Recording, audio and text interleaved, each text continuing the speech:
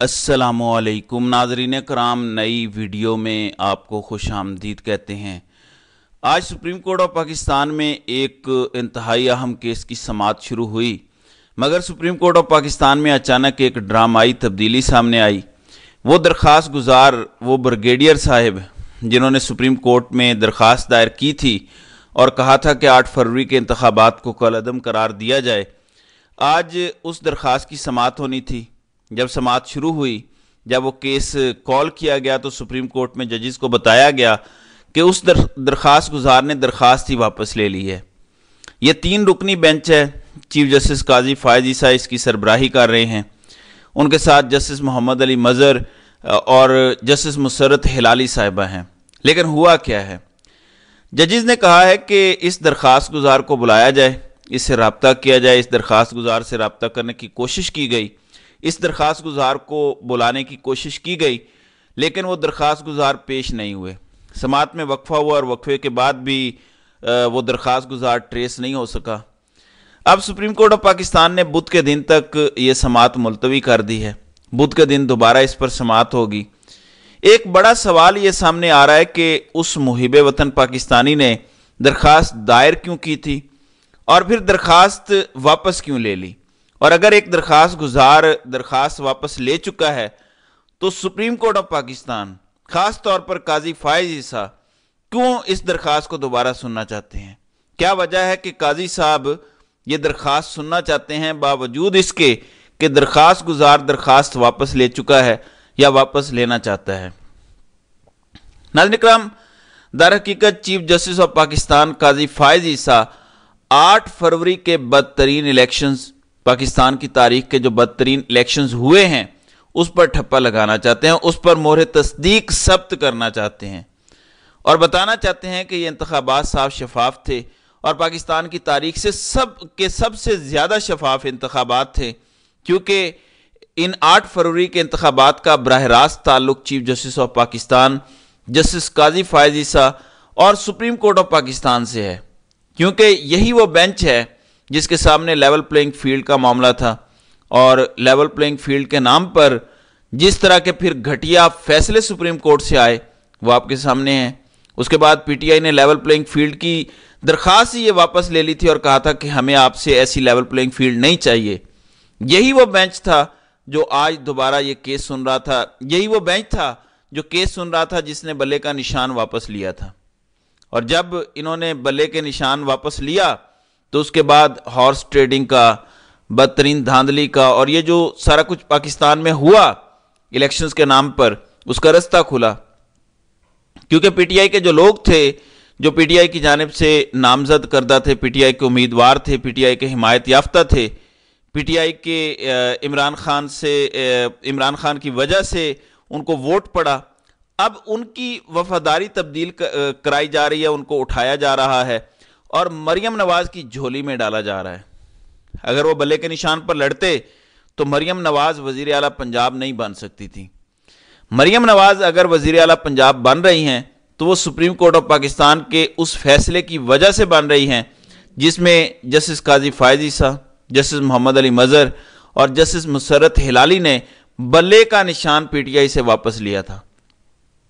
फिर तीसरा मामला सुप्रीम कोर्ट ने, क्योंकि जब यह कहा था कि आठ फरवरी का इलेक्शन पत्थर पर लकीर है तो उसके बाद फिर उस दौरान इलेक्शन से पहले लाहौर हाई कोर्ट ने एक नोटिफिकेशन मअतल कर दिया था सुप्रीम कोर्ट ऑफ़ पाकिस्तान का, जिसमें यह कहा गया था कि ये आर जो आप ब्यूरोक्रेसी से ले रहे हैं, ये साफ़ शफाफ इंतबात नहीं करवा सकते। अदलिया से आर लिए जाएँ। लेकिन काजी फायद ने उस ऑर्डर को भी कलदम करार देकर इलेक्शन कमीशन का नोटिफिकेशन बहाल कर दिया था।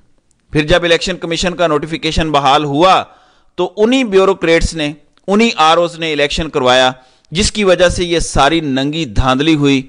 इल्ज़ाम लग रहे हैं, और फिर इलेक्शन कमिश्नर रावलपिंडी ने होश रुबा इंकशाफात किए, जिसमें उन्होंने चीफ इलेक्शन कमिश्नर और काजी फायज ईसा को इस धांधली में बराबर का शरीक करार दिया और इनकी फांसी का भी मुतालबा किया।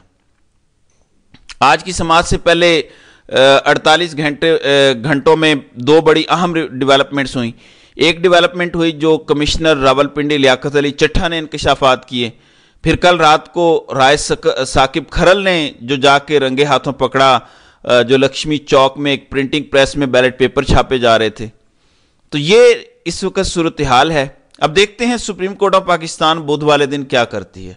लेकिन ये एक बड़ा सवाल है कि सुप्रीम कोर्ट अगर इस पर ठप्पा लगा देती है और कह देती है कि ये साफ़ शफाफ इंतबात थे तो फिर पाकिस्तान की नीचे तमाम अदालतों को एक मैसेज चला जाएगा कि कोई अदालत किसी तरह के रिमार्क्स इन इलेक्शंस पर मत दे। किसी तरह के कोई फैसले धांधली के खिलाफ मत दे। कोई अदालत कोई ऐसा फैसला ना दे जिससे तहरीक इंसाफ के वो लोग, जिनके पास फार्म 45 है, उनको कुछ फ़ायदा हो। देखें, बड़ा हैरान कन है, बड़ा तशवीशनाक है, और पाकिस्तान के लोगों के लिए ये कोई अच्छी चीज़ नहीं है। रियासत पाकिस्तान के लिए ये ठीक नहीं है कि पाकिस्तान के नबे फ़ीसद लोग पाकिस्तान की अदालतों पर अब इतमाद नहीं करते। और यह बड़ा तशवीशनाक है कि आठ फरवरी के इलेक्शन में 200 के करीब सूबाई और कौमी असम्बली की नशस्तें हैं, जिसमें जीतने वालों के पास फॉर्म 45 मौजूद हैं। लेकिन इलेक्शन कमीशन और उनके आर ने फॉर्म 47 जारी किए और उस पर नून लीग के लोगों को जितवा दिया। लेकिन 8 फरवरी से लेके आज 19 फरवरी तक 11 रोज में पाकिस्तान की किसी एक भी अदालत के किसी एक भी जज ने यह नहीं कहा कि फॉर्म 45 के मुताबिक काउंट करके फॉर्म 47 जारी किया जाए। यह बड़ा हैरान कन वाक़ है। ये बहुत तशवीशनाक बात है। ये बहुत परेशान कन सूरत हाल है कि पाकिस्तान की किसी भी अदालत के किसी एक भी जज ने यह ज़रूरत नहीं की। हालाँकि इनका हलफ तो यही कहता है कि आप आइन और कानून के मुताबिक, अपने हलफ के मुताबिक फैसले करें। लेकिन सूरत हाल आपके सामने है। अब यह दरखास्त एक ऐसे वक्त में सुप्रीम कोर्ट ऑफ़ पाकिस्तान के पास आई है, जब पूरी दुनिया का मीडिया चीख चीख कर बता रहा है कि पाकिस्तान में आठ फरवरी को क्या हुआ। दुनिया के कई ताकतवर ममालिक कह रहे हैं कि पाकिस्तान के लीगल फ्रेमवर्क के अंदर रहते हुए तहकीकात होनी चाहिए धांधली के हवाले से। और पाकिस्तान के लीगल फ्रेमवर्क में सबसे बड़ी अदालत सुप्रीम कोर्ट ऑफ़ पाकिस्तान है। चीफ जस्टिस ऑफ़ पाकिस्तान इस अदालत के, इस इदारे के सरबराह हैं। तो सबसे पहले वो वो मामला सबसे आखिरी फोरम पर आ गया जो कि सुप्रीम कोर्ट ऑफ़ पाकिस्तान है। अगर सुप्रीम कोर्ट ठप्पा लगा देती है, काजी साहब ठप्पा लगा देते हैं इस पर कि ये साफ़ शफाफ इंतबात थे तो फिर उसके बाद तो चैप्टर क्लोज हो जाता है। उसके बाद नीचे की कोई भी अदालत कोई ऐसी चीज़ नहीं करेगी जिससे साबित शुदा जो धांधली है, उसके खिलाफ कोई ऑर्डर दिया जाए। ये नहीं हो सकेगा। पहले ही वो नहीं दे रहे, जब सुप्रीम कोर्ट ठप्पा लगा देगी आठ फरवरी के इंतबात पर तो उसके बाद फिर मरियम नवाज़ वज़ीर अला पंजाब बना दी जाएँगी। तो वो भी बार बार कहेंगी कि काजी फ़ायद ईसा ने इन इंतबात को साफ़ शफाफ करार दिया है। सुप्रीम कोर्ट ने साफ़ शफाफ करार दिया है। इसके बाद फिर कौन कैसे कहेगा कि ये इंतबात साफ़ शफाफ नहीं थे? आपको याद होगा, इसी तरह से जैसे पिशावर हाई कोर्ट का एक फैसला था कि पीटीआई के लोगों को एक के बाद दूसरे दूसरे के बाद तीसरे तीसरे के बाद चौथे चौथे के बाद पाँचवें केस में गिरफ़्तार किया जा रहा था। तो पिशावर हाई कोर्ट ने एक ऑर्डर दिया था कि एक के बाद दूसरे केस में गिरफ़्तार ना किया जाए। लेकिन सुप्रीम कोर्ट के जस्टिस सरदार तारक मसूद ने उस ऑर्डर को कलदम करार देकर सख्त रिमार्क्स दिए थे हाई कोर्ट के जजेस के खिलाफ। कि ये कौन होते हैं हाई कोर्ट के जजेस ये कहने वाले? वही सरदार तारिक मसूद, जिन्होंने आइन की किताब फेंकते हुए कहा था कि पता नहीं ये बुनियादी इंसानी हकूक हमें कहाँ ले जाएँगे। तो जब सुप्रीम कोर्ट कोई ऑब्जर्वेशंस दे देती है रिमार्क्स दे देती है तो नीचे के जजेस पे वो बहुत ज़्यादा असरअंदाज होते हैं। जब सुप्रीम कोर्ट आठ फरवरी के इंतबात पर ठप्पा लगा देगी, मोहर लगा देगी कि ये साफ़ शफाफ इंतबात है तो फिर किसी अदालत के, किसी जज की ज़रूरत नहीं होगी कि वो जज इसके खिलाफ जाए। पहले ही बेचारा कोई हिम्मत नहीं कर रहा जज पूरे पाकिस्तान की, किसी भी अदालत का। तो यहाँ तो बहुत दूर की बात है। आज इलेक्शन कमीशन में कोई अस्सी से नबे के करीब हलकों के केसेस की समात है। अब जो सबसे बड़ी और अहम सूरत हाल है, वो ये देखनी होगी कि लक्ष्मी चौक के प्रिंटिंग प्रेस वाले बैलेट पेपर पर क्या होता है। राय साकिब खरल के हवाले से बड़ी तशवीशनाक खबरें आ रही हैं। बताया जा रहा है कि वो रात को गायब कर दिए गए हैं। उनका फ़ोन बंद है, वो नामालूम हो चुके हैं। अल्लाह ताला उनकी, उनको महफूज रखे, दमांग शख्सियत के मालिक हैं। ज़बरदस्त आदमी हैं, अच्छे जर्नलिस्ट हैं। फिर एक और चीज़ आप देखें कि पूरी दुनिया का इंटरनेशनल मीडिया, पीटीआई के लोगों को तो ले रहा है। इवन अवैस झक्कड़, जो न्याज झक्कड़ के बेटे हैं, लैया में बैठे हुए हैं। वो रशियन चैनल पर बैठकर इमरान खान का मुकदमा लड़ रहे हैं। लिया में बैठकर ये कर रहे हैं, लेकिन फार्म 47 के जीते हुए लोग जो हैं, नून लीग के, जो लक्ष्मी चौक के प्रिंटिंग प्रेस के बैलेट पेपर से जीते हैं, उनमें से किसी एक को भी इंटरनेशनल मीडिया के किसी चैनल ने अभी तक नहीं लिया। किसी एक का इंटरव्यू नहीं किया।